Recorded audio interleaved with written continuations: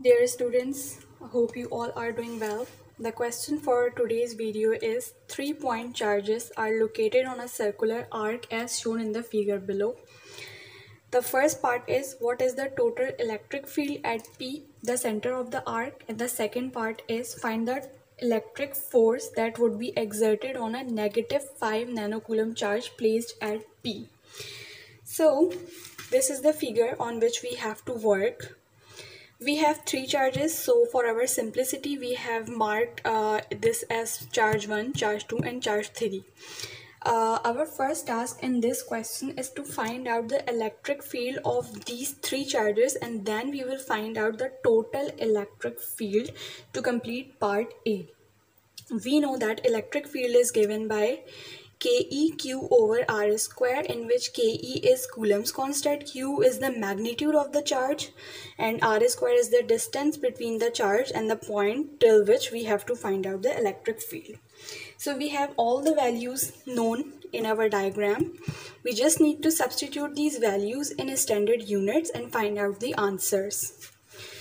So for field 1 we have uh, 8.9 exponent 9 that is ke charge q is 3 we just have substituted in, in uh, standard units so we have converted this nano into minus 9 exponent 9 and then for because it's in centimeter to convert it in meters we have to substitute it as 4 exponent minus 2 so we have find out all the three forces now we have to find out the total electric force and for that uh, we have to make a simple table.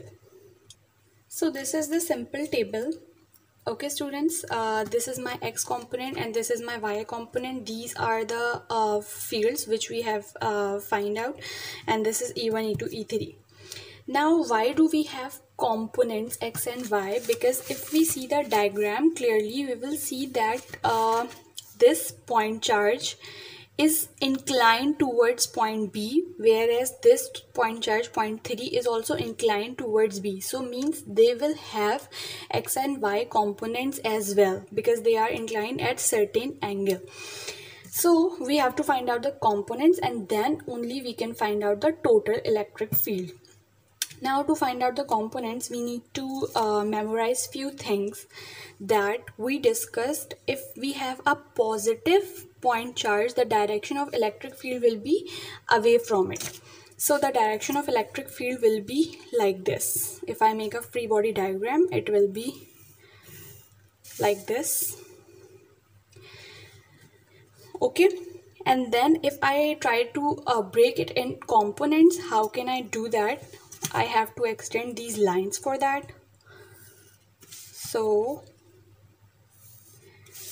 this will be my first component and then this will be my second component according to head and tail rule. We know that if this angle right here is 30 degree then this angle right here would also be 30 degree. Now because this component is adjacent to the uh, angle so it will be e1 cos 30 degree and since this is opposite this one is opposite to 30 degree angle so it will be e1 sine 30 degree.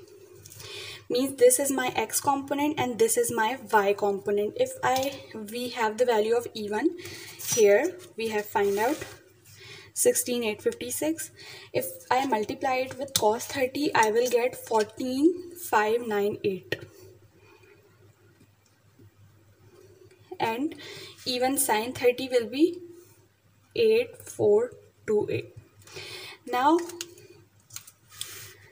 just see that this x-axis is towards positive x-axis and this y component is towards negative uh, uh, because its direction is downward so it's towards negative y-axis so don't forget to mention the signs or you can say the directions right students? Now if I see the point charge to second charge this second charge is negative. So we know that the direction of negative uh, or we can say that the negative charge attracts electric field towards itself. So the direction will be towards this side right? And because it's totally in x direction. We don't have any y component. So uh, uh, it will be only 11 2 3 8 and that is x component. And there will be no y component. For the direction its direction is towards negative x-axis so do not forget to mention the direction or you can say a negative sign. Do not forget to insert a negative sign. Now for charge 3 that is this. We have to uh, again uh, we know that this is a positive point charge so the direction of electric field will be away from it. So the direction of electric field, field will be like this. And if I make or if I try to make a free body diagram or uh, I can say that if I try to split it in components, the first component will be like this and the second component will be like this according to head to tail rule. And since the uh, angle is 30 degree right here, the angle right here will also be 30 degree. So now we can say that this component as uh, this one is opposite towards the 30 degree angle. So it will be E3 sine 30 whereas this angle right here it's adjacent so it will be E3 cos 30 degree. So we know that E3 cos 30 degree will be 14598 and sine 30 will be 8428. Now for directions we can see that these both are in the positive uh, uh, x and y direction so we can simply put positive with them. Right students? Now we only have to add up all these values to find out the total electric field. So if we see that this is negative 8428 this is positive 8428 so this will cancel out whole and we will get 0 means there is no y component in total electric field. And if we see x component so this positive uh, 14598 and this positive 14598 we will get 17958 958 Newton per Coulomb and we can say that because it's uh, positive 17958 so we can say the direction of electric field is towards the positive x-axis. Now we have part b. In part b we were asked that if we substitute a negative 5 nanocoulomb charge at this point p so what will be the electric force? We know that electric force is given by simple formula that is Fe equals to E into Q. We have total electric field and we have uh, the magnitude of charge as well. Total electric field is 17. Uh, sorry. It will be more convenient if I round off this figure. So if I round off, I will get approximately 1.8 exponent 4 Newton per Coulomb, right?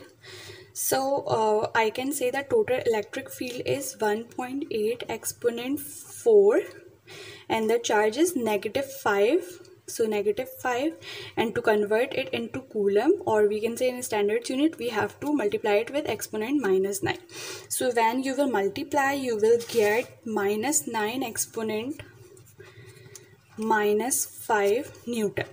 So you can say that this negative sign indicates that my uh, force on this charge on uh, negative 5 charge will be towards the left.